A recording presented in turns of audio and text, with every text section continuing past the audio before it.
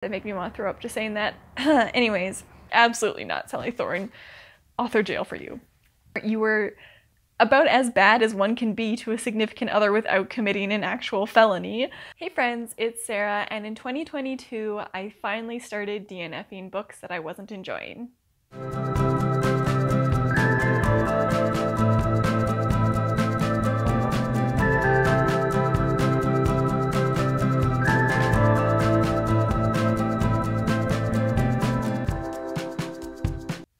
So, for those of you who don't know, DNFing stands for did not finish.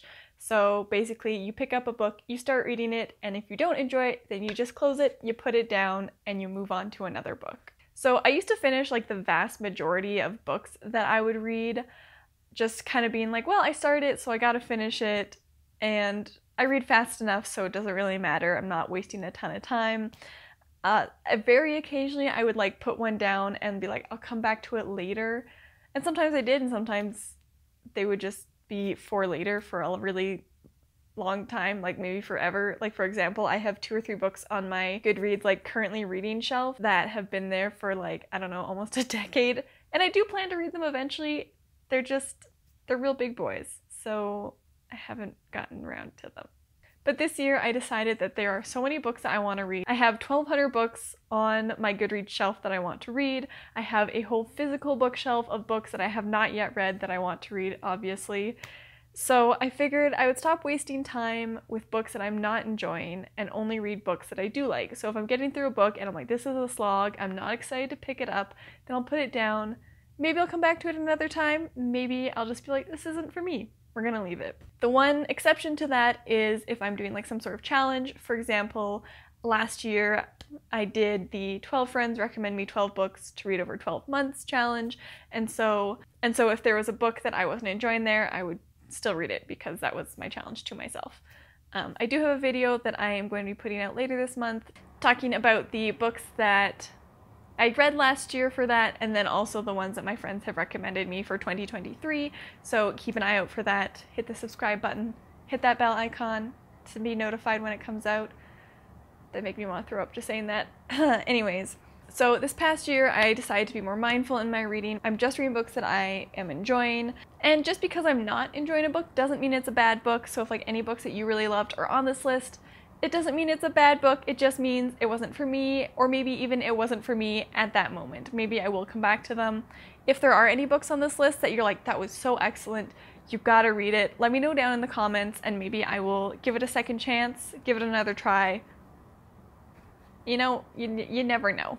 So, the first book that I DNF'd in 2022 was History of My Brief Body by Billy Ray Belcourt. So, this is like a memoir about being Indigenous and queer and kind of just a series of essays about his experience with those two identities, which I thought sounded really interesting because I always want to read more books by Indigenous authors and I always want to read more books by queer authors. So I was like, perfect. But I just found this book too esoteric. It was like a lot of kind of language where I was like, I'm not entirely sure what's happening on. It's very like poetic, but like I don't know what's going on. And then also it was very like graphic in its depictions of sex, and it wasn't in like a I don't know, like a titillating way, I guess. Like it wasn't supposed to be romantic or erotic. It was just like I don't even know how to describe this. I want to say like profane or like vulgar kind of, but it just wasn't for me. It gave me the ick. Is really what it was. I'm too much of a baby. It gave me the ick in the ways it was talking about sex. So I decided to stop reading it pretty early on in the book. And so this one I don't think I would pick up again. It does cover uh, topics that I'm interested in, but I just think the style of writing is not for me. Sorry if there's a lot of like noise in the background in this video. Our other, our new cat Daisy is still being like kept in a room and only out with our other cat uh, for like supervised time because she's a little stray and so she doesn't really have the best manners so she has to be kept an eye on but she does not like being in her room, so she scratches and she meows really loud. So I'm sorry if you can hear her, but there's literally nothing I can do to make her stop making noise. Also, Parsnip thinks it's dinner time, so she's also meowing, and the heat, I just turned the heat off, but it's still going right now, so it's just chaos. So the next book that I DNF'd was Something to Talk About by Meryl Wilsner. I stopped this on page 128 of 317. This is a sapphic romance. Romance. Ooh, French. Very fancy Um, this is a sapphic romance between a boss and her assistant, I believe. Okay, yeah.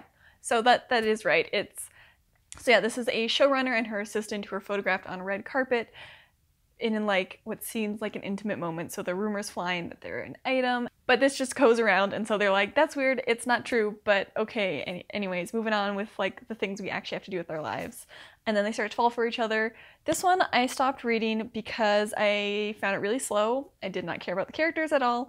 Did not like the age gap between the characters. I'm really the age gap really gives me the ick maybe that's the theme for this video. These books just gave me the ick. So yeah, I didn't like the age gap. I didn't like the fact that it was a boss and direct employee relationship. And I also did not like the fact that the assistant refers to her as boss all the time. Like she's like, hey boss, how's it going? You got it, boss. And it just felt weird to be calling her boss when you were starting to develop feelings for her. Like, I can only imagine that her love confession is like, I love you, boss. Like, I just, uh, mm, mm, mm, mm, too many weird power dynamics going on, so I stopped reading it like a third of the way through. That's that. Up next is You Made a Fool of Death with Your Beauty by Akwaeke Emezi. I talked about this one, I believe, in my Little Free Library unhaul video. I'll link it up top and in the description, so if you want to check it out, you can. But basically, this one follows a woman who is finally ready to start dating again after her husband had died some years ago and she meets this guy and she's like maybe I could date him and he really likes her and he takes her to like his family's house on a private island and his dad is a celebrity chef and then she starts falling for the dad. I saw this one on page 119. Um, I just could not get into the I just could not get into the fact that she liked the dad. It it was just it was too many things for me. It gave me again the ick. I just it made me feel so icky about it it was like an age gap, plus the father of someone that you know, plus the father of a guy who is trying to date you who you said you would give a chance, and then instead you're sneaking around and having a relationship with his father and not telling him.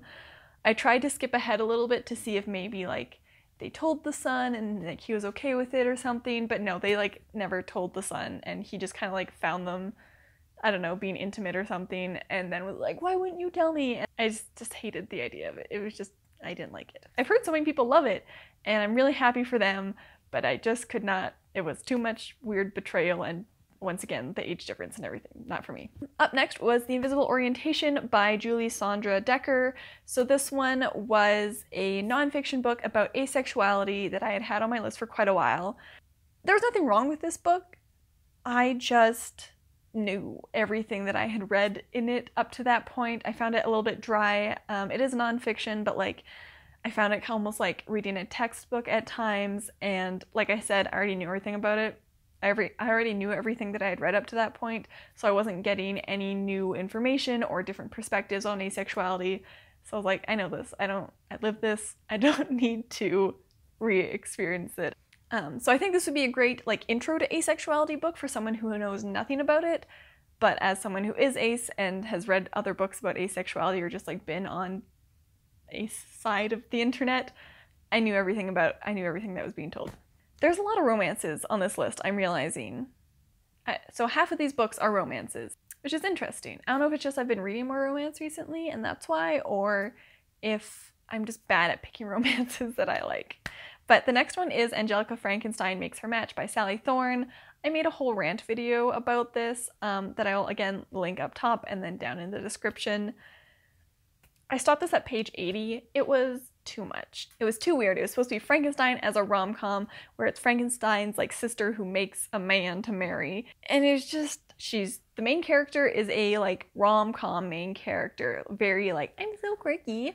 Um but in like the Victorian era is that when Frankenstein's set? Whenever Frankenstein is set, and then she's just like objectifies this man all the time, which is horrifying and like negates any wishes he has. Like he's like, I don't know who I am. I gotta find out who I was before you reanimated me. And she's like, you should just instead have sex with me. And we can get married. Um, yeah, it just felt very tone deaf, and the genres did not mesh very well. I've heard some, I think all the reviews I've seen on this one were either one star, this is too weird, I hated it, five star, this is super weird and I loved it. So I was the one star. Below one star. This is I was I did not finish. I read less than 100 pages and was like, absolutely not, Sally Thorne, author jail for you. Up next, it was unfortunately a recommendation from a colleague, which was too bad because I love being able to talk about books with my coworkers and enjoying the same kinds of books. Um, but that was Yume by Sifton Tracey Anipare. I finished, I stopped reading this at page 180. It follows a black Canadian woman who is an English teacher in Japan and kind of the like rough time she's having. Her boss doesn't appreciate her. He like mistreats her and like overworks her. And her colleagues are also kind of pretty racist towards her and she feels like an outsider all the time. And then the other part of the story is like this demon world where it follows like this one guy who like works for a demon and acquires women for the demon to sleep with. And I got almost 200 pages in and the storylines just kept like repeating the same thing over and over and I was like, I get it. Her colleagues are racist. She has a miserable time. He has to find a woman for the demon to sleep with or he will get eaten. No one had advanced very far in those 180 pages.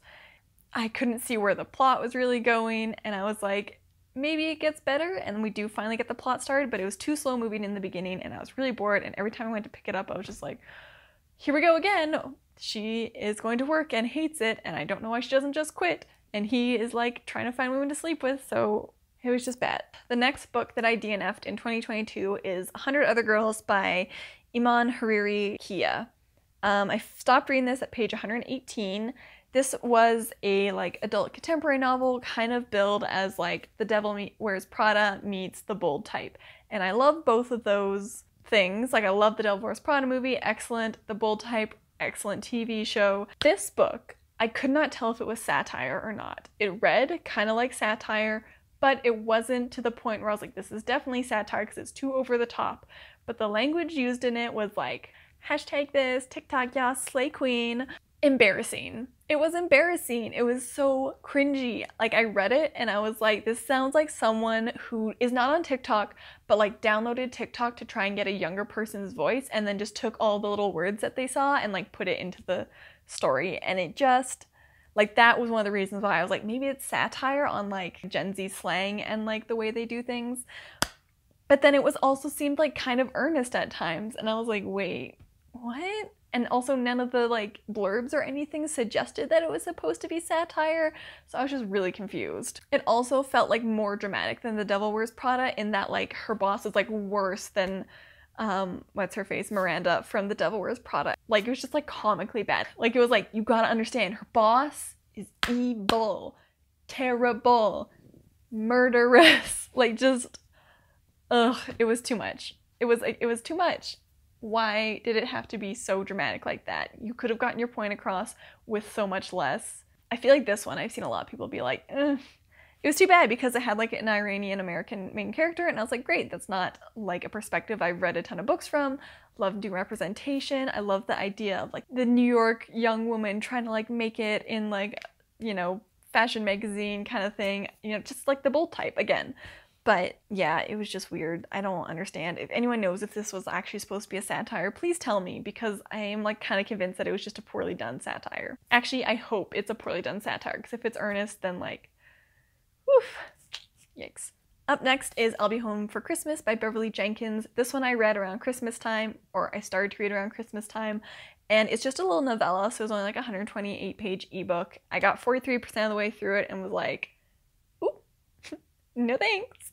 Uh, it's supposed to be like a second chance romance of these two people who uh, he's a celebrity chef and she's a something. She's some sort of big high profile thing as well. I can't remember. But basically, they were like together, they were very in love they might have been engaged, can't remember. Um, but then he cheated on her a bunch and like treated her like dirt, and so they broke up. And now like it's several years later, and he's like tr- turned his life around, and he's like, I'm not the fuck boy I used to be. Like take me back. And I just did not feel 128 pages was enough for me to forgive him for like cheating on her numerous times and treating her like dirt. I'm like, there's she should not give you a second chance. You were awful to her. You were about as bad as one can be to a significant other without committing an actual felony. I'm sorry, but I don't want you to be redeemed. Like you can be better and do better now, but you should she should stay far away from you. Um, and yeah, about 43% of the way into the book was when she was like, ooh, maybe I'm still kind of like attracted to him. Um, but I think the line that stopped me uh, was some line about her her nipples got hard and he like saw it through her shirt and like commented on it and I was like, mm, this is gonna be too explicit for me and so I shut it down and was like, no, thank you. I have a couple Beverly Jenkins books out from the library because I've been trying to read more romance by authors of color, but I'm concerned that they're too spicy for me. So if you've read a Beverly Jenkins novel, please let me know the level of spice Based on the covers, I think it's a lot, unfortunately. But I, if you know of any authors of color who write romance that is not that spicy at all, the like most spice I would really want, let me know. I would because I would love to find them. I just I don't like a lot of spice in my romance, and those seem to be the ones that are recommended a lot so I'm, I'm struggling. The penultimate book that I DNF'd was actually another holiday romance, so that is Season of Love by Helena Greer. This follows a Jewish main character whose aunt has recently died and she like comes back to her hometown. She'd been like estranged from her family and her aunt had run like a Christmas tree farm and so she's like going to try and like run it with her cousin and then the like woman who had been working with her aunt at the Christmas tree farm and this woman is called Noelle, I believe. Yeah, is Noelle has this grudge against um, Miriam, the main character, because she's like, you abandoned the family in their time of need. Um, and that was like the thing that stopped me reading. Like, as you can see, I got 84 pages into this. And I just, like, Noelle is like immediately like, I hate this woman. She left my best friend, aka her cousin, like all by herself. How dare she? She's so entitled. And just like makes all of these in, like crazy assumptions about her without ever talking to her or even like it was like not even based off of really information that she had fully understood about her. She was like oh she like is an influencer or something. And it's like no she makes art. It was just it was so weird and she just like hates her so much and never even like gets anyone to be like oh no like it turns her father was abusive that's why she's not around the family. And she just like continues to hate her even though there are like signs that like things aren't as what as she thought. Also the main character has a fiance that she doesn't like like they're in a like marriage of convenience kind of thing. And I only like that trope if it's like a marriage of convenience and then they fall in love. But this is like a marriage of convenience and then like I, I'm not convinced they even like each other, to be honest. Her fiance is very weird. There's also like in in the 84 pages, it's like we're introduced to the characters. The aunt the aunt has died and she goes back home for the funeral. Like two months go by in these 84 pages with like a lot of plot points, and I was just kind of like, whoa, whoa, wait, what? Like I thought the funeral and everything was to be a longer process where she like maybe has like awkward encounters with like family members that she hasn't spoken to in a few years. But it was just like, anyways, that happened. Okay, on to the next thing. Which I found very bizarre. And yeah, the also the writing in this just isn't really doing it for me. I've heard lots of good things about it though. People seem to really enjoy this, and I just couldn't get into it, which is sad. But I just wasn't feeling, I just wasn't in the season of love with this book. Okay, the last book that I DNF'd was The Bookshop of Broken Hearts by Robert Hillman. This I DNF'd 98 pages in because it's just like not what I expected. I thought this was going to be like a kind of like sweet little like romance people like getting over their like traumas together, like being able to support each other through hard times, all centered around like this bookshop. But the, I think the bookshop is like a secondary plot point. It does not seem to really be a main part of the story. It follows like a guy, like he got divorced and like his wife took the kid he really misses his son, and then like a woman who had survived Auschwitz, and then they fall in love I think I might enjoy this if I like get rid of the idea that it's like a nice, sweet bookshop centered book. Um, because there was like, you know, where he's talking about like missing his son. It was very emotional and I did like that. But like the relationship between him and the woman was like kind of weird and like just all of a sudden they're sleeping together and I was like, what? Um, so I don't know. I would consider coming back to this. Once again, I own a copy of it, so like Maybe I'll come back to it, but if you've read it, again, let me know, is it worth it or will I just be disappointed again? So those are the 10 books that I DNF'd in 2022. It's not a ton. I did read like 215, I think, books last year, and I only DNF'd 10 books, so that's not bad. But it did feel good to just be like, this book is upsetting me, and I don't want that, so I'm just gonna let it go. Again, if any of these were books that you really loved and you think I would like, let me know. I'm open to changing my mind about most of them. mm, maybe about half of them. I'm open to I'm open to changing my mind if you can come up with a very compelling argument. But um, as always, thank you so much for watching. Don't forget to like and subscribe, and I'll see you next time. Now go read a book. How I started. Actually, I don't know how long it's been around, so I'm not gonna say that because I'm not confident in that answer. A um, like showrunner for a t- for a TV sh- show. Oh my god.